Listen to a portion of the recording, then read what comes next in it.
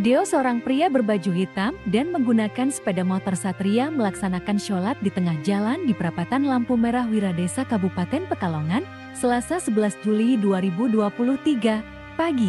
Pria yang memakai serba hitam tersebut sholat di tengah jalan saat pengendara lain melintas di Pantura Wiradesa. Diduga pria tersebut mengalami gangguan jiwa.